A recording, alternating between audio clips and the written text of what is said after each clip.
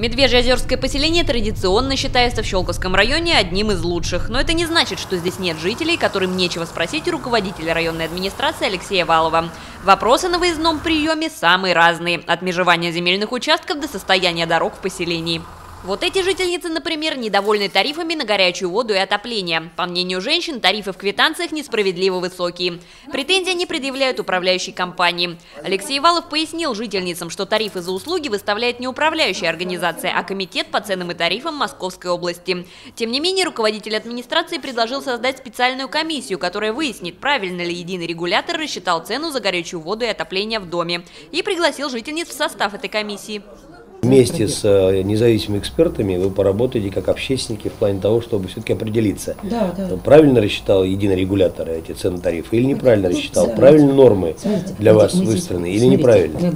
А вот у этой женщины проблемы уже земельные. Сосед построил подъездную дорогу прямо на территории ее участка, и сама разрешить эту проблему пожилая жительница Медвежьеозерского не в состоянии.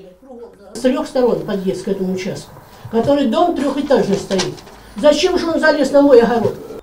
Алексей Валов поручил проработать этот вопрос своему советнику, а в случае дальнейшего нежелания соседа убирать подъезд с чужой территории, пообещал взяться за вопрос лично. Главное, не волнуйтесь, да не волнуйтесь, мы, по... мы поможем, поможем.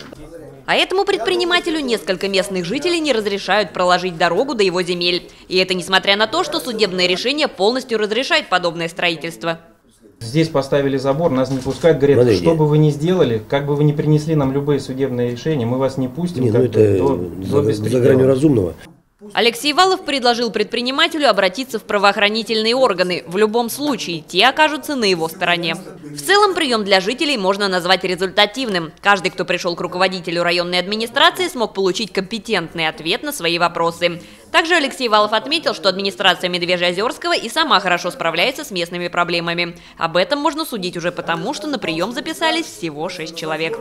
Мария Смирнова, Игорь Поляков, телерадиокомпания «Щелково».